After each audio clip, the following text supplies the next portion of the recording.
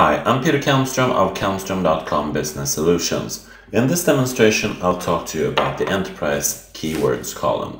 In any document library, it's very easy to add that, and it does provide a very easy and enterprise-wide categorization. To enable that in a document library is going to the Library tab and hit Library Settings, and here is the Enterprise Metadata and Keyword Settings and that only has one single checkbox. If you click on that, then you'll have this column. As you see, it's listed here in the enterprise keywords as a managed metadata field. And um, to use that, you actually have to add it to your view also. I'm going to do that. That is not done automatically, so you need to edit the view and make sure that you actually see this enterprise keywords column. And now I have another column, as you see, with enterprise keywords. And of course I can go in and edit the properties of each and every document like this and just type in some enterprise keywords. And these enterprise keywords, they are, as it says below here, they're shared with other users and applications. So it's the same for the entire enterprise. In Office 365, that means your entire tenancy. Uh, everyone will see these keywords. So if I type in long-term planning here, since I haven't used this enterprise keywords field before, I don't get any suggestions. I can just add that there, save that, and there of course. Now when I do the next one, I can show you another way of tagging documents or categorization. Uh, if I go into quick edit view here and see this one is actually a long-term planning document too. So now if I start typing here, you see I get the suggestion long-term planning. But if I do on this one, I can do this is documentation. I don't get one, right? So these keywords now are actually saved in the metadata settings of your tenancy. There you go. So that's how easy that works. And your spontaneous reaction might be, you know, how are we going to control this? How are we going to keep it in check so that people don't use the wrong tagging, the wrong categorization? How do we make people use the right tags?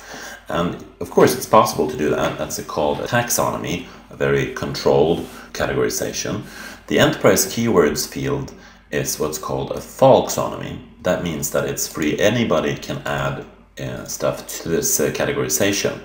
And you might feel that that would never work in my organization, but consider the organization of the internet. There's no one at you know Twitter deciding that we need a new World Cup Uh, 2016 hashtag. No one is deciding that centrally. Somebody starts writing about World Cup 2016 or something like that and people follow that tag. So it does work and it also works in a similar way on Facebook and other popular social sites. So the concept of tagging is rather well known and established. So you might want to enable that feature for your own organization also. Now, if you need to clean this up, so say that somebody used something wrong, or, or you can do that too. And that's done here under the SharePoint Admin Center, which you'll find under Admin, of course. And if you can't see that, then you're probably not the global administrator of your Office 365 tenancy.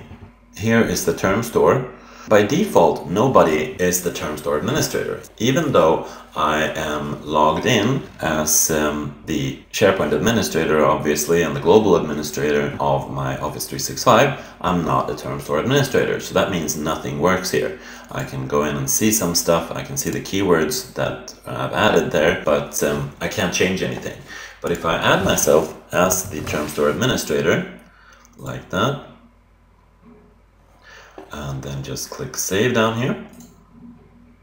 And now you see it all becomes live. And if I click the uh, long-term planning keyword here you see I can move that or I can delete it. So if I delete that keyword the documents will stay there of course but they will no longer be tagged by that. So you can simply remove keywords like that. So that concludes my demo on using the enterprise keywords column for categorization in your document library Thank you for watching.